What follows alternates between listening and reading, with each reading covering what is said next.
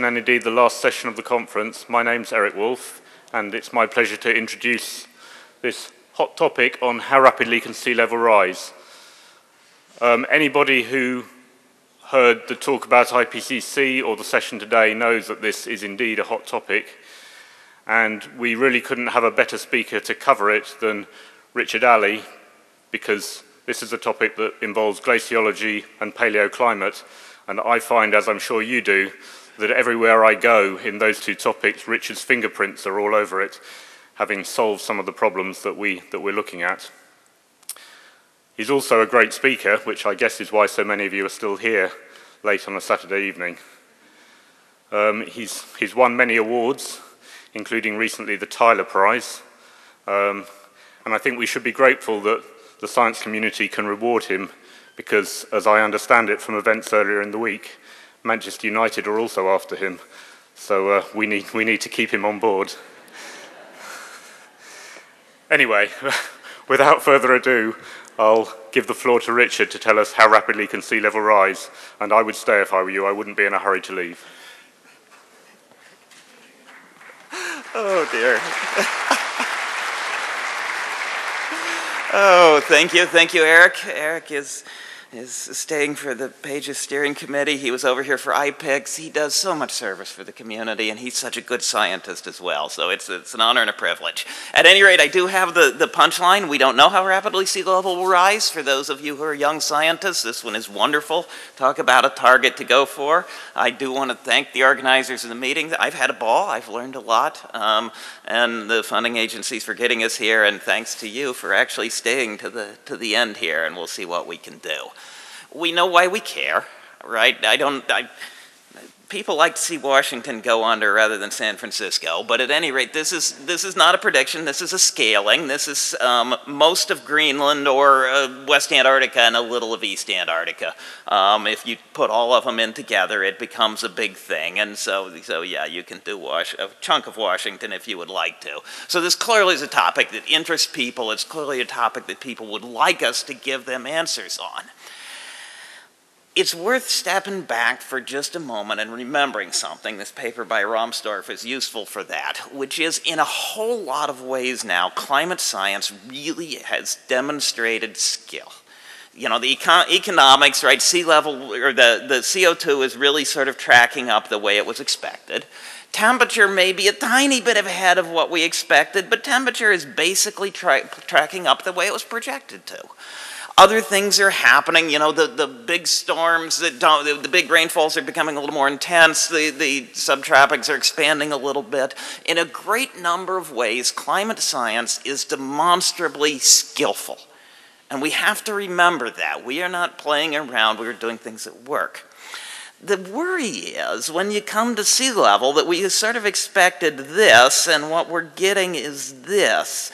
And you know, when you talk about where climate science is good, when we confront ice, we can't brag as much. And this also applies to sea ice. The ice in the Arctic is a little ahead of everything that was expected. And so you can say climate science is skillful, but not too much with ice. And that's worth remembering. The history of the IPCC on ice sheets is also worth remembering.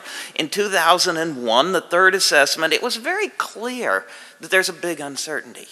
But the central estimate was it snows more, a little more melting in Greenland, the flow doesn't change. And so the expectation was that as sea level rises from melting of mountain glaciers and from expansion of the ocean, that the big ice sheets, if anything, would contribute a little opposing that. That the big ice sheets were our friend for the next hundred years.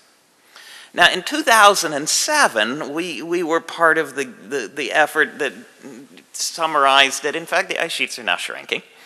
And um, they're shrinking at least in part in response to warming.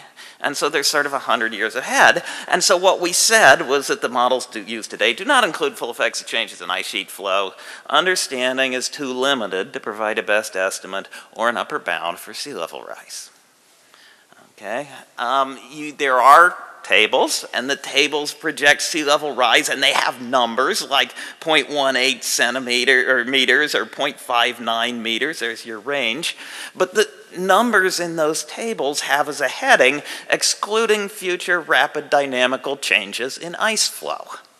And so, you know, if one more person tells me that the IPCC underprojected, I'm going to scream because the IPCC did not project. It projected those pieces of the sea level budget which had an assessed basis for making a number. And then it did, in US football, we use this misshapen ball. And when you can't do anything else, what you do is you drop back and punt. And that's exactly what we did, okay? We provided the quantifiable part and then we punted the rest. And um, we've got to fix this somehow, and I hope we have it fixed by the next one. Now, this is an update of the IPCC um, mass balance. This is part of the data that's pointing to something's going on that we have to understand. So 1960 is over here on your left, and today is over on your right, and up is first of all, on top is a temperature, coastal temperature record for Greenland, and you can see that coastal temperatures have changed a little bit. And then below this are all of the published estimates of the mass balance of the Greenland ice sheet that I've been able to find. All sorts of different techniques, in and out, and weighing with, with gravity from space, and measuring surface elevation changes, and what have you. And up means putting water into the ocean, causing sea level rise, with balance down here. And what you'll see is it was a little warm and the ice sheet was shrinking a little, and it got colder and the ice sheet quit shrinking, and it got warmer and the ice sheet started shrinking again. The time scale for a big ice sheet to finish responding to a climate change may be very long. The time scale for this ice sheet to start responding to a climate change is proving to be very short and the ice sheet is contributing something in the neighborhood of 0.8 or so millimeters a year to sea level rise. So it's, it's in the game there someplace. Okay, now we just came out with a report uh, from the US um, CCSP, uh, international team of authors, a review process that was, was patterned after the IPCC. This is the same sign of up means raising sea level as the previous plot, but this is the paleoclimate of Greenland. So we went back and we said at different times in the past when Greenland had a size that we could assess and it had a temperature that we could assess, how were those related? And zero is sort of mean 20th century, and this would be, so zero change in temperature is zero change in sea level, mean 20th century. As you go to colder times of, say, stage two or stage six, the ice sheet is bigger, so sea level is a little bit lower as a consequence. As you go to mid-Holocene, as you go to 5E, or and to some poorly identified time, which may be stage 11, Warmer conditions are associated with sea level rise because of Greenland shrinking. The uncertainties are very large in these reconstructions. They're sort of model and data based to, to some extent. But, you know, if you were somebody who really likes insurance, the fact that you might get rid of Greenland for a couple of degrees would be a little bit alarming, and it's really hard to imagine that you can run more than, you know, seven degrees or so before Greenland goes, and a number of three or four might not be a terrible thing. No estimate of rate, though, just that when it gets warmer, Greenland shrinks. Okay? Now, the surprise was Antarctica, I think. We rather expected that Antarctica was going to grow from more snowfall, that the flow would not change. You'll notice that the number of estimates of mass balance in the Antarctic is way worse. This is the same plot as two before for Greenland, but you'll notice there's basically nothing until you get past 1990. Um, but there is a, a, trend of Antarctica contributing to sea level rise as well, and the uncertainties now are above zero with fairly high confidence. So you really can say with some confidence Antarctica is also contributing to sea level rise. We do have evidence of a weak warming in Antarctica globally, almost certain, as we'll discuss in a minute, that the, the mean temperature over Antarctica is not what's driving this, uh, that it's linked to some other things that we'll come back to. But Greenland and Antarctica, they're contributing sea level rise, and this is pretty well known now. Now, the IPCC said we don't have anything that we can use as a model to project to the future because the physics are missing. That is beginning to change. And you heard Dave Pollard this morning with what is probably the first model that puts in key physics and actually is running into the future. And you heard, I think, the first report of those, those numbers and what they're telling us about it. Um, if he looks at the past, as he showed you, you know, one to a few millennia to make a few meters of sea level um, change is what's happened, and the model sort of validates fairly well against data. And the observation subice shelf melt is the biggest control on that. And um, it doesn't take a whole lot of warming to make a really big difference in that. There's a huge number of other efforts underway worldwide, people trying to build the next generation of models, get them, get them calibrated, get them validated, and um, make them in time for the IPCC. And I don't know if that will be successful or not. I know people are working on it. In the meantime, people are trying what is a sane and reasonable thing. If you can't answer the question right, get out the back of the envelope and see what you can come up with. And this is a listing of the estimates as of yesterday. Um, and I'm not going to walk you through them. Instead, what I'm going to do is show them to you on a plot. So we're going to start off looking at the left half of this plot. And these are the various sort of scalings and back of the envelope and, oh, what can we do with it that have been published. And so the IPCC, as you know, provided a range of estimates. And then they said, well, it's got to be more than that. And they actually did provide a couple of scalings, and each of those scalings was about as long as this arrow.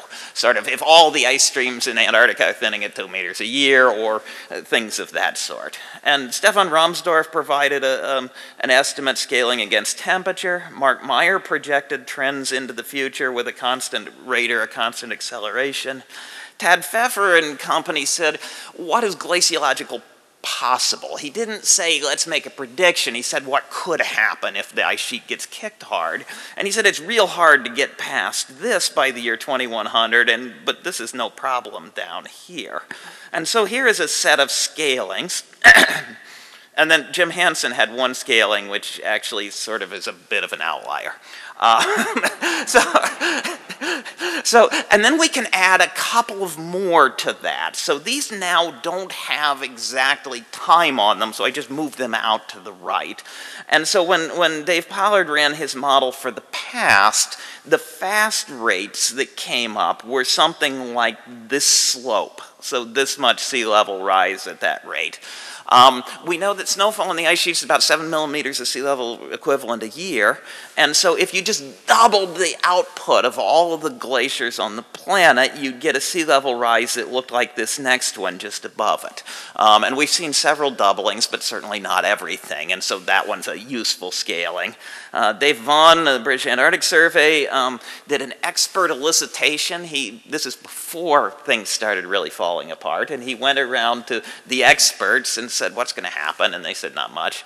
And he said, but what's possible? And his experts gave a 5% chance that West Antarctica by itself would be putting water into the ocean this fast, giving a sea level rise like that from West Antarctica alone by the year 2200. And then just for the scaling, there's Meltwater Pulse 1A, is something similar to that, and it's almost as fast as Jim's. Um, and then we heard a couple more this morning, so we'll add those on. Uh, Mark Marks is right over here, and it's a slightly different approach than Rahmstorf's in looking at, at more paleo data to bring into that and doesn't give a huge number. And then Dave Pollard, I gave two of them. This is the, the sort of hot West Antarctic, and this is the really, really hot. He's got a flamethrower, and he is destroying all the ice shelves instantly. And that gives you, and this is just what the West Antarctic could do. And so that's really what we have on the table at this point. Um, some projections, some scalings. It's really, really hard to look at this and exclude a meter by the end of the century. It's really, really hard to look at this and get a few meters by the end of the century. And it's really hard to look at this and say that the IPCC, without their acceleration, has got it nailed. So you look at this and say probably a little above the IPCC. And is a meter in the range? Yeah, probably. Is it five meters in the range? It's hard to imagine. Okay? So, um, and that's all we've got. Okay, so that's my answer if you want to go home. What I'd like to do, if you'll sit here and listen for a bit, is to walk through some stuff that Ian did and some other things and sort of tell you what the exciting science is going to be and maybe what's the not quite as exciting science to solve this. Because if you want to know people that are having real fun right now, if you, you didn't enjoy Ian's talk and see how much fun the science is right now, it's just really amazing. So let's walk through why we don't have an answer and what the cool things are that are going to be needed to get us there. Okay, again, just the, the brief physics of glaciers. Let's go ignore glacier for a moment and think about anything, a mountain range, a building, what have you. If you make a pile of something, it tends to spread under its own weight. Um, and if it's strong enough, it doesn't spread, so the building is not falling down, even though it, it does have a tendency to spread. If your pile is spreading, um, if it's spreading over something smooth, it goes faster. And so bumps slow it down and lubrication speeds it up. And if you hold it in, it spreads more slowly. And that's all the physics that you're really going to need for this. Um, an ice sheet is nothing more than a three kilometer thick, continent wide pile of old snow. Uh, the pressure is high underneath, it squirts to the side, and so it tends to spread under its own weight. Um, the balance is snowfall on the top, going to icebergs or else melting on the sides. Uh, it is not building up until the world rolls over. It does spread and take it down to the edge. Turn up the snow, the pile gets bigger. Turn up the spreading, and you increase the calving or the melting on the edges, and the pile gets smaller. And so that, that's our physics. And what we're going to say here is that the snowfall on top and the melting on top, we're going to more or less figure that the, the atmospheric modelers are really good and they're getting really better. And what's key to this is the spreading of the pile. And so we'll walk through that. A useful scaling to keep in mind. The, the folks, Oerlemans and others working on mountain glaciers have done a huge amount of work on how, as the climate changes, how the surface balance changes, snowfall and melting. And those results basically apply to an ice sheet that ends on land and balances snowfall by melting. And the real simple answer, if you change the temperature of a land-ending steady ice mass a little bit, the melting changes a lot. The ice mass comes to sit across the equilibrium line where it's most sensitive to changes in temperature, and small changes in temperature make big changes in melting. And for, for a range of mountain glaciers, it's sort of 35% per degree, maybe 25, maybe 40 or 45, but sort of 35% per degree. Uh, we do know that, that when it gets warmer that the saturation vapor pressure goes up, and that's sort of 7% per degree. And so all else equal, if you make it warmer, 35 is bigger than 7. And what that tells us is that, yeah, warming melts ice from the top. Um, because 35 and 7 are the same order of magnitude, and because we know that, that you can't really do climatology from saturation vapor pressure, there certainly are cases when you warm it and it snows enough that, that you can stabilize an ice mass. But a very simple thing, if your first knee-jerk response is, my glacier is growing, it must be snowing wrong, snowing more, you're almost certainly wrong the more it snows, the smaller the glacier. And that's true across a whole bunch of places and a whole bunch of times. There's a lot of glaciers today are getting more snow and they're getting smaller. Greenland is getting more snow in the middle and it's getting smaller. And not much change in Antarctica yet in snowfall. But, but basically, you can find situations where warming grows the ice, but they're pretty rare. And so, so knee jerk should be hey, when it's snowing more, I'm getting less ice. And I'm getting less ice either because of melting or because of spreading. Okay? So when we look at this, this should reply in the future. And I say, and Ian said this this morning, we are fairly confident that the folks that do surface mass balance, snowfall and melting, are really pretty good and they're getting better. And there's a lot of good work to be done, a lot of science that needs to be done to refine that, but we don't think we're going to get surprised. We think that that's just going to get refined to give us better and better answers. For ice flow, for spreading of the pile, we think we're going to get surprised. Okay? A point I'd like to highlight, this is sort of an aside, but I think it's worth, worth highlighting.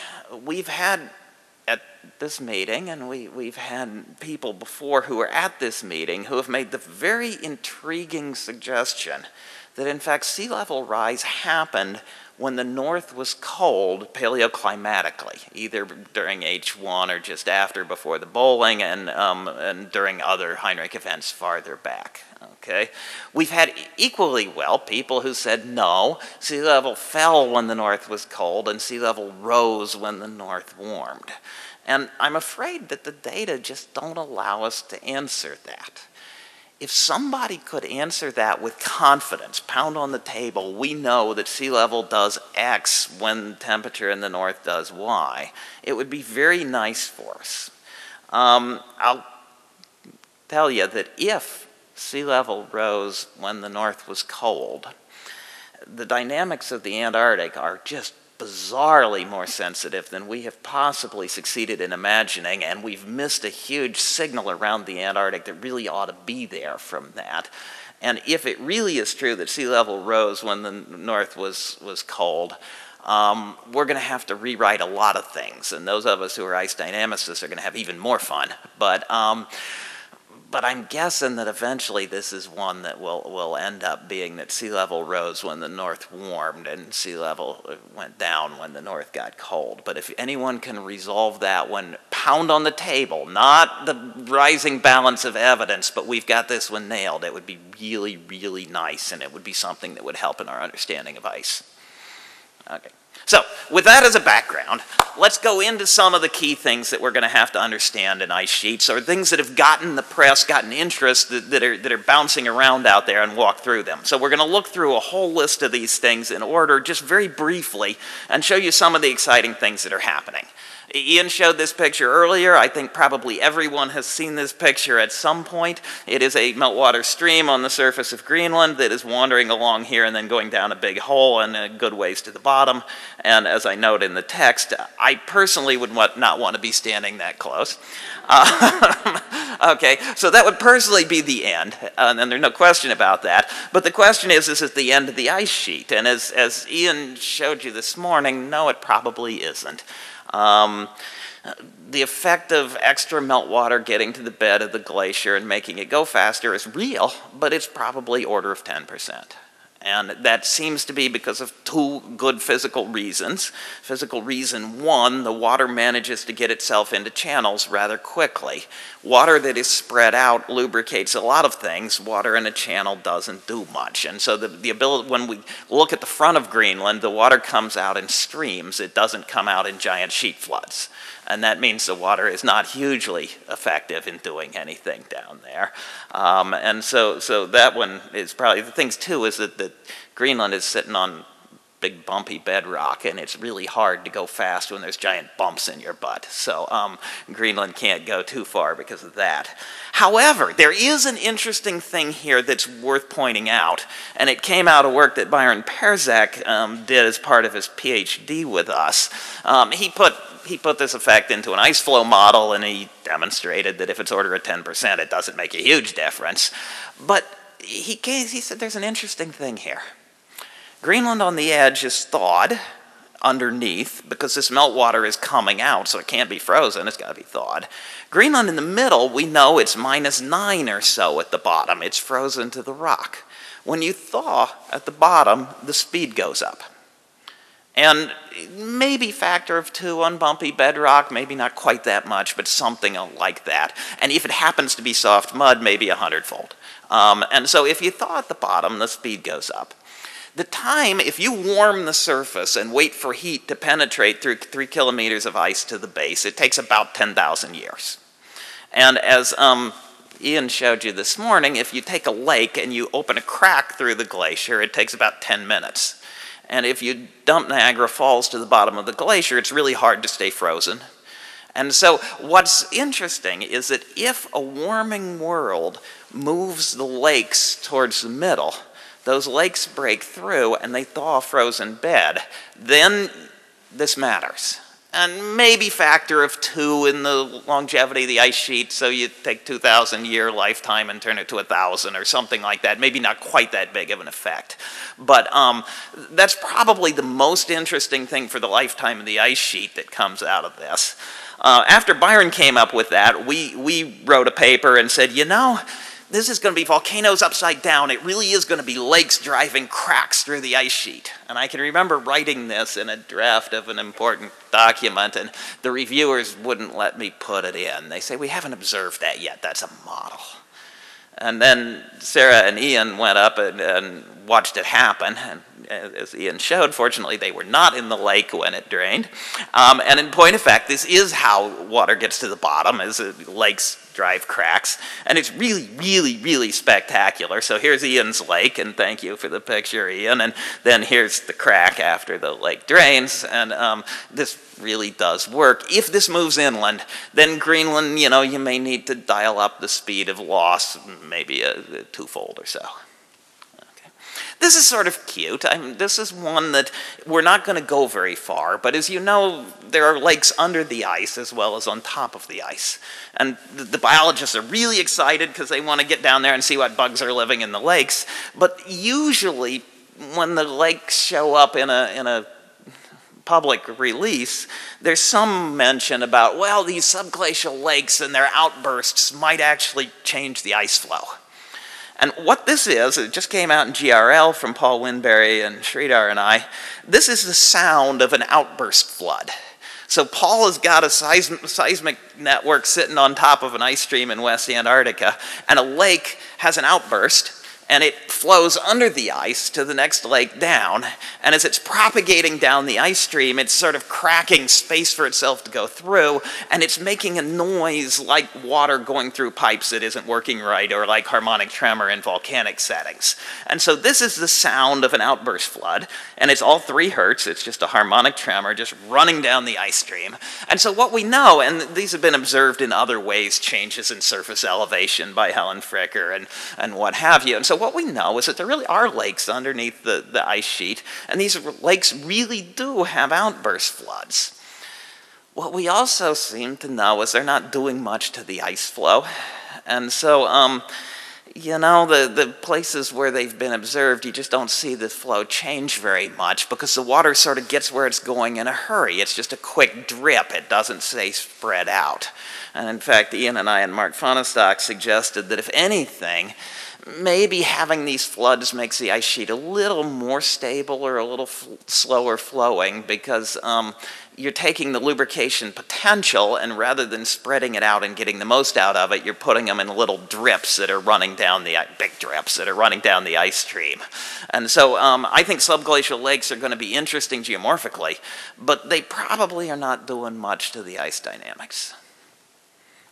Okay, so we're trying to kill things off here, cool things. I'm going to kill one more, and then we'll get on to things that are worrisome.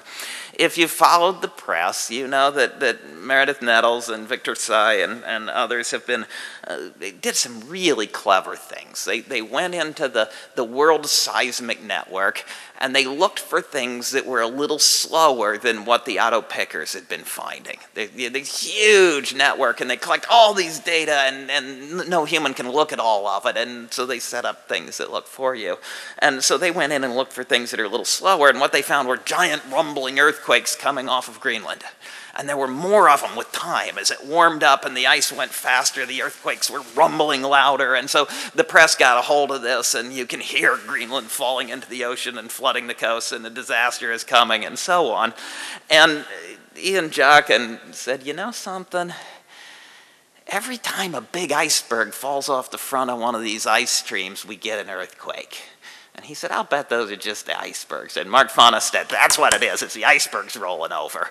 And so now they've gone in, and in fact, at least most of these big glacial earthquakes are the icebergs rolling over. And so they aren't actually the sound of Greenland falling in the ocean, except that it does make icebergs. They are, I swiped some pictures anyway because they're just so incredibly cool. So these are some pictures that um, Martin Truffer took working with Mark and with Ian. And um, we're going to go through 90 seconds. We are, we are 10K away from an iceberg calving event. And we're looking at something that's about two kilometers wide. So this, this picture is about two kilometers across. The little red bar right here is 100 meters high. Okay, about 100. The ice is flowing towards you like this, it breaks off at, at the red bar, and the stuff in the foreground here is actually just broken up ice on deep water. And there's seals pop their heads up through. And when I get to the end of this, there'll be a seal, so you'll know you've gotten to the end. But what I want you to notice is if this bar is about 100 meters high, this is the iceberg rolling over. Okay, so this bar is 100, this is bigger than 100. And I'm just going to run through the pictures here. And if just watch that iceberg. It's really sort of, this is why you can hear this clear off on other continents, you know. and there's a seal. But um, so, so these iceberg, these, these big earthquakes are out there, but they don't seem to be the sound of Greenland falling in the ocean. I think we're going to learn a lot from these earthquakes. I think we need to, to listen to them. But, but so now we've just killed off three things. The lakes are not the doom of the, uh, the lakes from above are not the doom, maybe factor two. The lakes from below don't seem to be the doom. The ice, the giant earthquakes don't seem to be the doom of the ice sheet. So how are we going to kill the ice sheet if it dies? Okay. Probably the easiest way to make the ice go really fast is to thaw it in a place that it's stuck to something slippery but frozen. So if you freeze ice to, to till, and then you thaw the till, uh, mud, the ice goes really fast. And that still is far and away the best explanation we have for Heinrich events. How is it possible that you have these giant armadas of icebergs carrying all this debris out into the North Atlantic? Far and away the best story is that you've got a tow lubricated ice stream in Hudson Strait that freezes. And that means it goes really slow, and when it thaws, it goes really fast. And so if you can find anywhere that's frozen on potentially soft bed, that's what's scary. Okay? We don't have a map of potentially soft beds at this point. Uh, we're getting fairly good at knowing where it's frozen, although it's not perfect yet. Um, but uh, that's something that we probably need to look for before we're done here. Um, if you're frozen, you know, 10,000 years for heat from the top to get to the bottom, unless you get surface meltwater, in which is 10 minutes, or unless it's frozen right at the edge, and you thought you kick something out and it flows a little faster and it deforms and it makes heat and it goes faster. So this is a challenge for us and for the exploration geophysicists to sort of figure out where it's frozen, where it's thawed, and where there's, where there's soft sediment under the frozen things. Um, is there possibility of a Heinrich event in our future? Probably not, but not certain. And that's one that we're going to have to keep an eye out, whether there could be one somewhere. Okay? So that would be a bad thing to do with an ice sheet. Um, the next thing that people usually talk about, about bad things to do to ice sheets, is to raise sea level really fast. Um, because if you float the edges, then the ice goes faster and that'll make a difference, okay? This is something we've been working on recently, and sea level is looking less potent than we used to think. You saw from Dave Pollard's talk that when he modeled the things that kick West Antarctica, sea level matters a little bit and warmer water matters a lot. And that seems to be the right answer. And if you've been teaching people that, in fact, the Laurentide ice sheet controlled the Antarctic through sea level, it's possible that's still correct, but be very careful because it's looking like sea level may not be nearly as potent as we once thought it was. And that seems to be in part because of sedimentation. Uh, if you pause the grounding line for a little while, it makes a pile, and the pile gives you friction. And now you need a lot of sea level rise to float you off of the pile. And in fact, where we've been able to measure, which is reasonably restricted yet, the, the flotation point, the grounding line of the Antarctic is sitting on geologic features or its own sedimentary piles. It's actually stabilized a little bit against motion. And I'm going to show you um, a model here. This is, this is um, work by Dave Pollard that we had in a, um, in a paper in Science a couple of years ago. And what I want you to do first is watch the top panel. And so this is a flat bed with an ice stream flowing out to sea, which is this blue blob out here with air on top. The ice is flowing from left to right. Um, the grounding line can't go past the left edge. We, he's just holding it. He won't let it go past there. And what he's going to do is raise sea level. And initially, higher sea level is just pushing back on the ice and it slows down and thickens. And then it will start to float the ice. And when it does, you'll notice the grounding line migrate back. So just watch the top panel first, and we'll go through a, a, model simulation with an earlier version of Dave's model, and sea level is rising and the ice is thickening, and ignore the bottom one, and here comes the grounding line, and it just migrates back. And so that's a nice, beautiful, sort of linear response. That would be the thing that if the northern hemisphere ice sheets were controlling Antarctica, that's what you'd expect to see. Now what I want you to do is watch the bottom panel.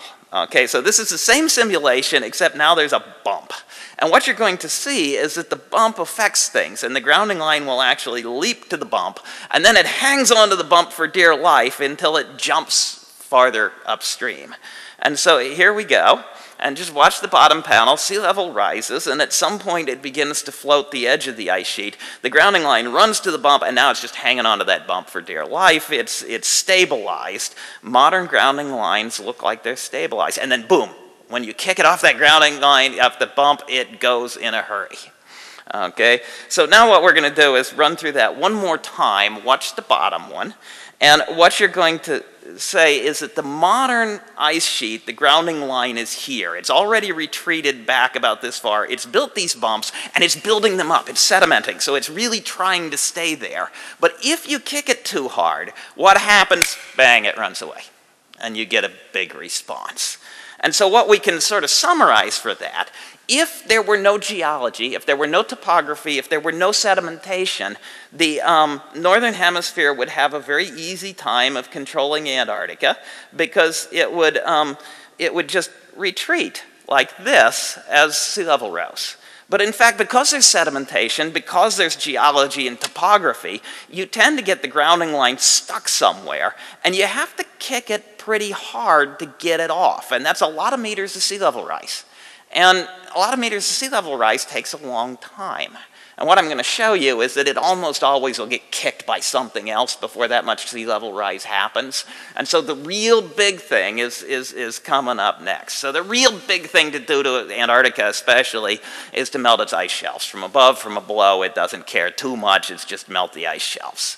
Again, for a reminder, when the ice flows down to the coast, it, it typically, as long as it's sort of sub-freezing, it doesn't have a huge amount of meltwater. When it gets to the coast, it flows over the ocean as an ice shelf. There's ocean water beneath it at the melting point. It's low and warm on top. It will run aground on spots or it will have friction on the sides. This provides friction that holds the, the central ice back in the same way that a flying buttress holds back the Gothic cathedral. You can get this really easily with warming down here. Okay? This is the classic one. Ian showed this very briefly. We're down in the Antarctic Peninsula, so we're right down here, and we're looking at this green thing. Um, the green thing is here. Um, this is the Antarctic Peninsula itself, the mountain range uh, there. Black out here is ocean water. These are big icebergs sitting in the ocean water. Your scale bar is 20K over here. And this funny pattern on here is meltwater sitting in the crevasses. And you saw when you make a when you fill up the crack in Greenland, it breaks through.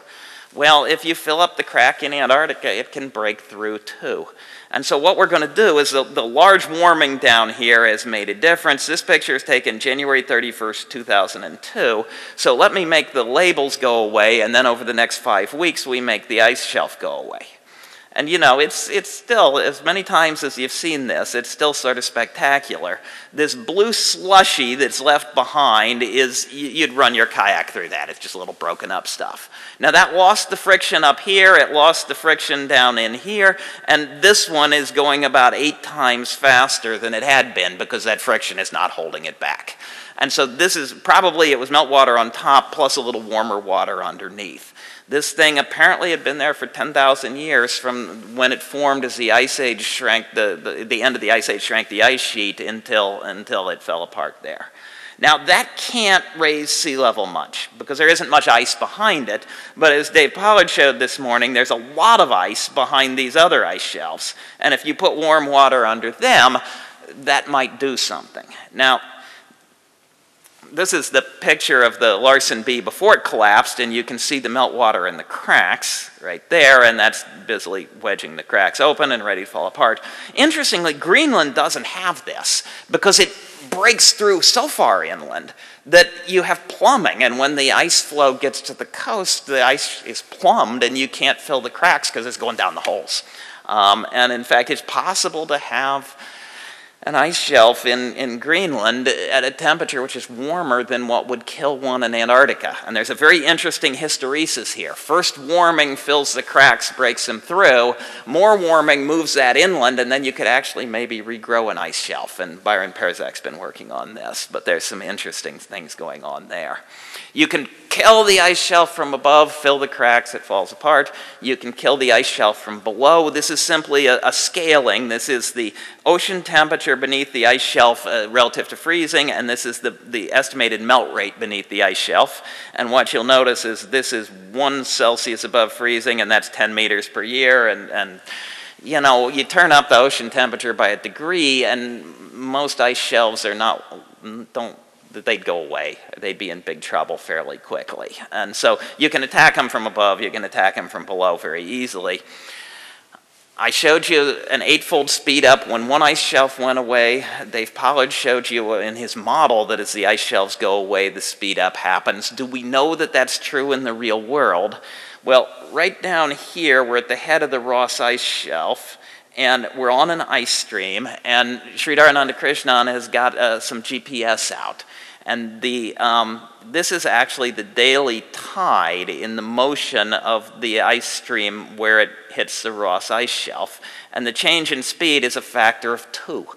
So the one meter tide, a little more water pushing back, cuts the speed in half. And that a little less put, that's a guy. And then, and then if you go 80 kilometers inland, it's, you still see it very clearly. And so, yes, if you were to take away the resistance of the big ice shelves, the flow behind it would notice immediately, directly, and in a great deal. And, and the data that we have are completely consistent with what Dave Pollard was showing you in his models. This really is, is the big deal. Um, just a reminder, this is not actually under an ice stream, of course, but just a reminder that, that the ice goes really fast where it has mud underneath it, till, soft sediment. And our understanding of the physics of soft sediment deformation is not quite as good as it should be. Um, it's fairly clear that sometimes it's a plastic, sometimes it's viscous, sometimes it's strong, sometimes it's weak. There's a lot of science on this, but um, but there's a little work to be done in terms of once you take the load off the end and the thing deforms a little faster, what exactly will it do is going to depend on our knowledge of soil mechanics. And that's a little shaky at sometimes. Okay. One more point, and then we'll, we'll synopsize and get out of here.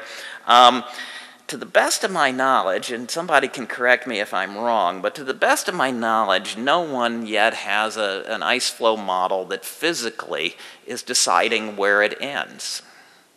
Um, does the ice actually go across the ocean and run aground on the high spot, or uh, do the icebergs break off first? To do that, you have to know the rules for breaking off of icebergs, and we don't know those rules. And so usually what people do is they say, well, my ice sheet ends here. Um, or they say, well, my ice sheet ends here because that's where it sits. Um, Dave is doing some interesting things with his, but in a general rule, we don't really know when the icebergs break off, and so whether the thing really will be able to reach out, get the buttressing from here, and support itself.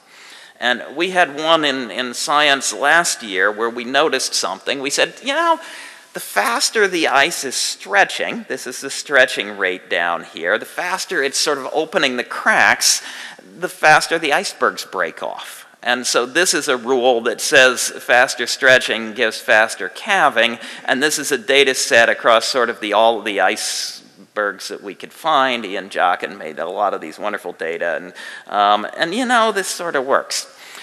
I will be absolutely flabbergasted if this is the last word in this. I can't imagine that it could be this simple. But if this is part of the answer, it's really concern because it's an unconditionally unstable calving law. It says when the glacier backs off of this bump, it has to go to the next bump before it can stop. So if this physics happens to be right, maybe things are even worse than we thought. And that's something that worries me a good bit here. So, so what can we say? Let's, let's synopsize and get out here. If you want to do this right, um, we do have simple models in, in the, you know, 1D sorts of things, simplified things that are getting the physics right. Um, we've got Dave Pollard's model, which is, which is really a step forward here. Um, but you know, especially the simplified models up here, there's some, some tuning issues of things that are not terribly known physically. Um, we're never going to get under the ice and measure the till properties of the entire Antarctic ice sheet. So there's a huge data assimilation project. If we actually build the right models, we're still going to have a huge data assimilation project ahead of us to, to do this. I think pretty much every major modeling group and a lot of minor modeling groups in the world have said this is important, we should do it. And I think every major modeling group is doing this at a time when the economy sucks and they're going after it with a person or two or a postdoc or something like that. And um, it's, you know, sort of the research commitment. They're doing the best they can, but the research commitment that's going into this is really minuscule compared to the problem that's out there. That's an opinion, but um, I think it's a right one for what it's worth. And so, so let, let me summarize then. If it gets warmer, it melts ice in general, the more it snows, the less ice you have. Um, and if you're still sort of looking for warming, growing your ice sheets, be very, very careful. That's not very likely. Um, we don't have any good evidence you turn up temperature and it snows more and that saves you, and a whole lot of evidence that that's, that's wrong. Um, yeah, maybe my ice sheet controlled your ice sheet or your ice sheet controlled my ice sheet by floating it off the bed, but that's a pretty slow forcing in a system that stabilizes itself by sedimentation. And most of what, where we can see grounding lines, they're fairly stabilized against that. What really gets to ice sheets is either you make it warm on top and they melt, or you make it warm around the edge and they lose their ice shelves, and the ice shelves are holding the sheet back and that unplugs it and lets it go in a hurry. And until we solve that one, all the others are sort of fine-tuning knobs that are sitting behind it. Um, Dave turned on his flamethrower and he's still, you know, the time scale for dumping an ice sheet is a century to centuries, something like that. Um, and so I, it doesn't look like we can kill off an ice sheet in, in a century. But we might commit to killing off an ice sheet in the century you know, you might get to the point that it's really, really hard to get your ice sheet back, and that could happen within not that many decades. We really don't know because we don't have reliable projections, we don't have worst case scenarios. Uh, how fast can sea level rise in our near future? I, you, you looked at the back of the envelope. It's really hard to look at that and say we can't have a meter per, year, per century. Um, but it's pretty hard to get a whole bunch of meters per century in our near future. And, and I'll tell you, like I say, I think the modeling groups are doing wonderful work and they're trying really hard and the community is rallying around this. But I personally think if we had attacked ocean atmosphere modeling with the same financial vigor that we've attacked ice sheet modeling, that we'd still be on the second assessment report. We'd have never gotten to the third. I, I just don't see that, that this commitment is commensurate with what's going on, but that's strictly an opinion on my point. And I'm not looking for the money. I want to give it to the modelers. But um, at any rate, I want to thank you for coming. Thank you for staying. If you want something really fun to do, we're having a ball right now. The paleo of sea level, the future of sea level, the ice sheets. There is a lot of work to do here, and it's really exciting, and thank you.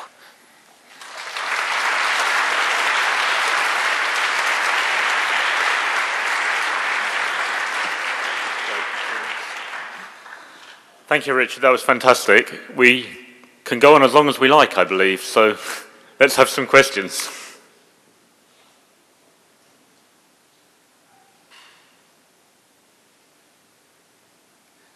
Everybody's stunned or terrified. Ready for a beer. mentioned that the pinning points or something have a buttressing effect. Is there also some buttress, some effect of the ice hanging onto the ice behind it or around it that keeps it together? Talking about the ice extending out into the ocean. There's a little bit, and Ian was pointing at this that right the Inland ice sitting on bumpy rock is primarily supported by friction right beneath it. But when you get to a steep margin, like the calving front of a tidewater glacier that's not floating, that steep margin is not supported. So it reaches a little ways behind it and, and pulls. Essentially, the front wants to fall off. You know, if you build a, a pile of loose things and let go, it, the, the front falls off. And so these calving fronts, if they're not floating, where Jakobshavn is right now, the front still wants to fall off because it's not supported. And that in turn does propagate some distance behind it. So wherever you got a steep margin, it's reaching a little ways behind it. And, and these, basically, you're going to have to get um, Greenland's outlet glaciers out of the ocean and then let the margin round off before they really quit reaching much behind it. That fair, Ian? Okay. There's one over there. Sorry, make you wrong. After the coffee breaks, uh, I could use the running. what was what was different or special about Meltwater Pulse 1A that made it that made the rate of sea level rise so much higher than any of the future predictions that you showed? Right. I would love to answer that. And I, is Peter still here? He probably is. Um, I, my personal belief is that it was just a really big warming when there was still a fair chunk of ice around. And that so before that, if you, I'm, I'm driving it mostly from the north, and before that, the temperature rose slowly and the ice responds slowly. And in Meltwater Pulse 1A, you pop out of H1 out of the mystery interval, and you nail a whole lot of extensive ice. It's pretty low and pretty well lubricated, um, and so it's got a large area. And you just crank the temperature up a very few degrees on that, and that would generate that kind of meltwater flux. Um, in Peter Clark and Jerry Mitrovica's modeling, they preferred, you'll recall, a southern source for the meltwater pulse, or for a lot of it, but they included a meltwater coming from everywhere solution as being consistent with the data. And so my personal belief is you've still got some calving, you've still, you've got the southern margin of the Laurentide, it cannot possibly be all of it. Peter showed that completely unequivocally. But the Laurentide at H2 comes down as this big, thick, lumpy thing, and then later it comes down sort of low, and if you've got a low one, a little bit of warming gives you a big area of ablation. And so my gut feeling is that we'll find that it's mostly just warming plus a little bit of the marine margins. But Peter's hypothesis, which is that it comes, a chunk of it comes out of our Antarctica and a little bit before the Bølling onset. If that's true, that just knocks us on our, on our rear ends and we got to stand up and redo a lot of things. And I know, is Peter here? Okay, he can yell about that later. I hope I haven't done, done injustice to him on it. And the, the work he did and the work they've been pushing on using the, the sea level fingerprint as finding out um, where the source of the water was. It's really pushing the data set, but if that can be made to work even better, you know, right now he couldn't resolve uh, meltwater from everywhere from meltwater from Antarctica, but um, if that could be resolved a little better, it would answer it.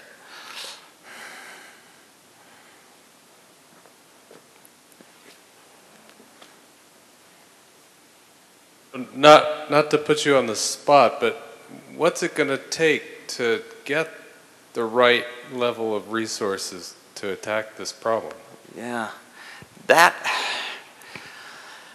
I mean, I think that we sort of know what the level of resources would be, which is serious modeling groups at a few of the places that would allow the academic modelers to to do the, you know, the development to this is what works and this is what doesn't work, um, and then to feed into the big modeling groups who are coupling it into the, the coupled ocean atmosphere systems. Right now, all the big global models cannot possibly do melting of Antarctica because they're not, they stop their ocean model before they get to the ice that it's going to melt.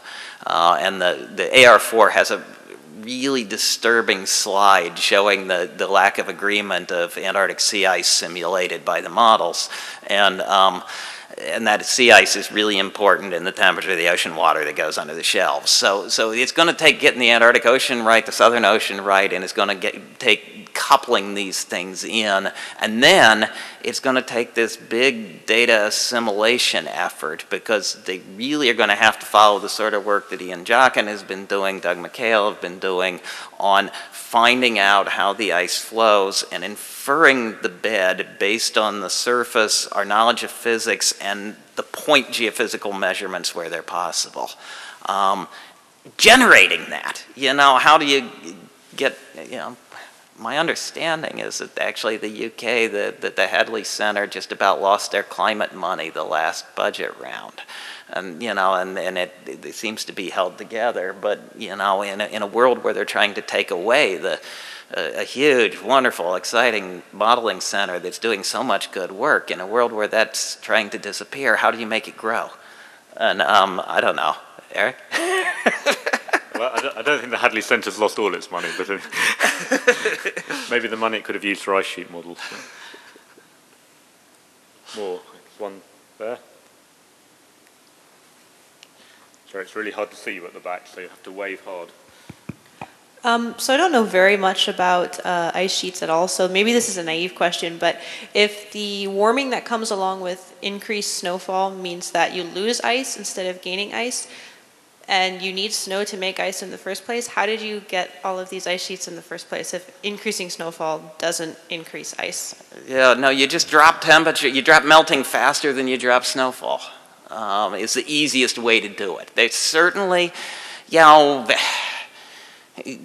what, 10 years ago, the glaciers in Norway were growing a little bit because North Atlantic oscillation was, was plus and it was pumping more, more snow in there. And so a little bit of warming had led to growth. It is possible to have, to just turn up snow like crazy and make a glacier, but that's, I think it's very rare that that is the answer. Normally, you simply turn down melting more than you turn down snowfall. And so the lines, so, so you know, you're sitting here and what, what do you have? You have something that sort of goes from hot to cold over here, and you say, how much is snowfall? And snowfall is this curve, and melting is this curve. So here's melt, and um, so what happens is as you go from hot to cold, you're dropping your, your snowfall like this, but the, the melting simply drops more and it falls below it and then you can grow the ice. So what we find, you know, there's lots of hypotheses out there that, you know, the secret to growing the ice sheets was to open the Arctic Ocean so it got really warm and it snowed like crazy.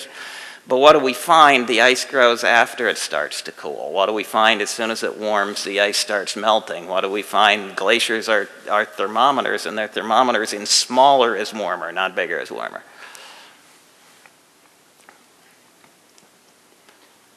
Sorry, Leah, there's one on the other side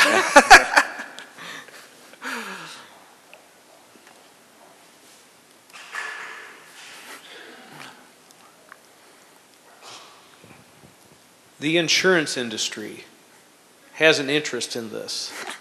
Have you talked to them about this? Because there was a flurry of uh, information that came out this week on the internet about the research they're doing, and it seems like they are looking at economic risk and you're dealing with the science. How does this group marry that? Yeah.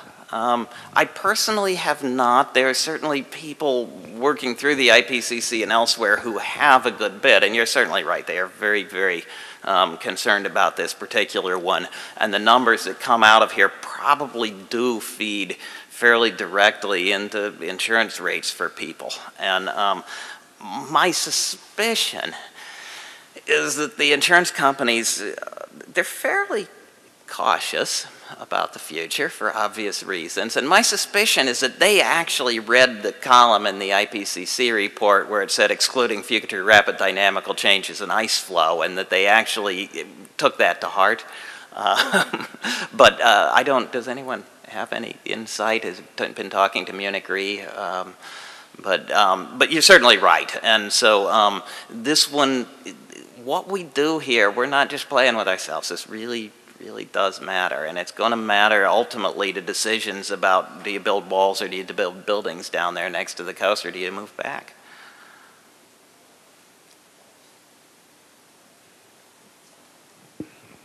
Just, just an answer what's concerning Swiss Re and Munich Re, because we have students, former students working there.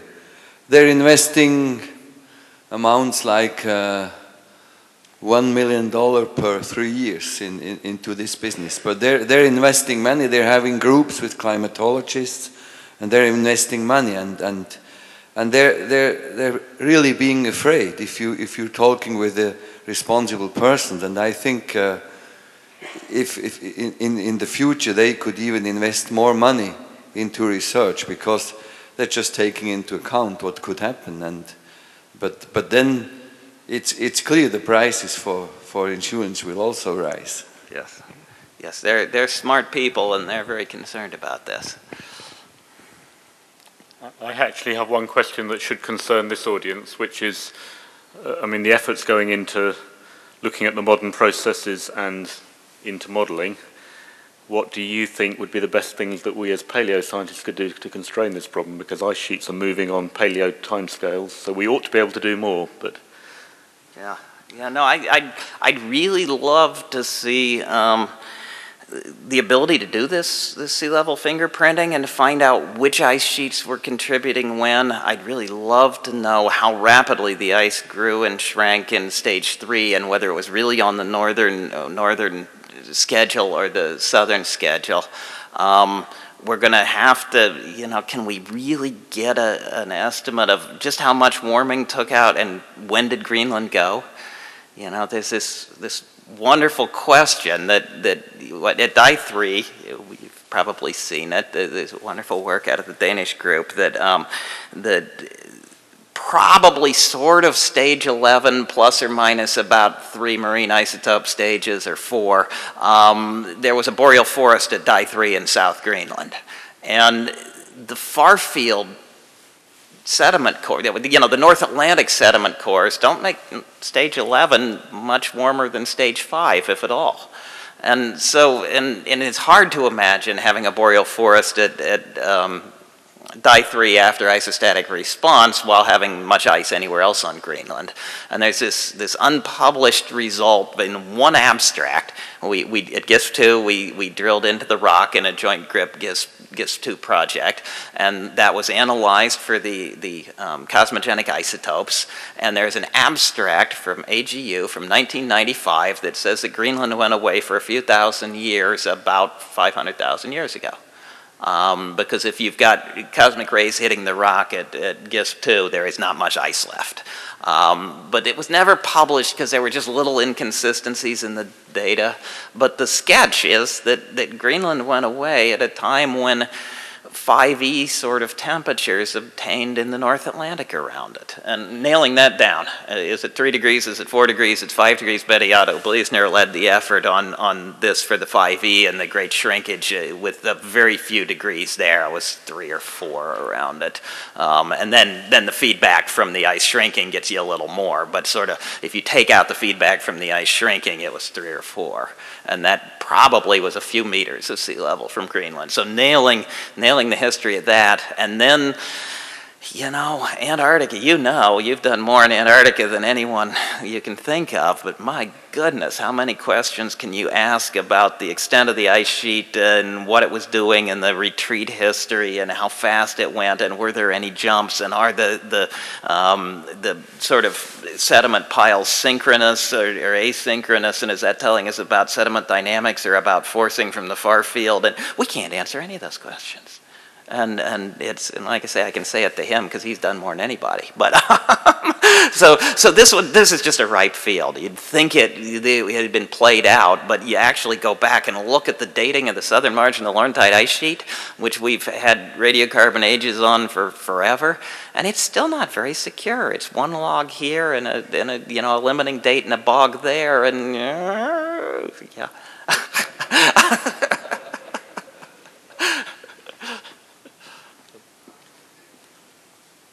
Continuing with the long time kind of perspective, do you have thoughts on the kind of examination that David Archer and perhaps others have been doing into the future? That we could, um, whether quickly or slowly, melt off enough of the large ice caps to actually skip an interglacial uh, with the associated temperature rise that that would be associated with? Yeah, I think that I mean, was. I mean, excuse me, skip a Skip a glacial. yeah, that, that we, we may have already committed to not having the next ice age, and, and we certainly can, according to all the run out. So it's this age-old one, and you all know this, but you know, you dump the CO2 in the air, and immediately almost half of it goes in the ocean. And then the rest of it goes a lot slower because now you got to mix it into the deep ocean, and rather than a few years, now you're out to a whole bunch of decades. And then you got to dissolve the shells in the seafloor, and that depends on the bioturbation rate of the seafloor to bring up shells so you can dissolve them to, to neutralize the CO2. And now you're thousands of years, and then you got to weather rocks, and, and now you're out to you know 100,000 year time scale. And so we put you know 1,000 ppm V in the atmosphere, and we're above glaciation threshold probably through when the next ice age ought to be. So we, we can head the next one off. We may not have done so quite yet, but we're we might have, and we got to be pretty close to it. So.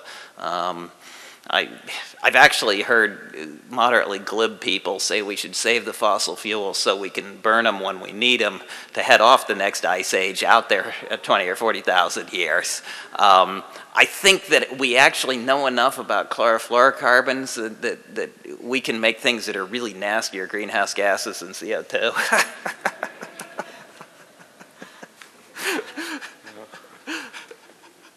I can't see anyone waving their hand around, so on, on that geoengineering note, perhaps we should stop and thank Richard again and then pass over to Bette.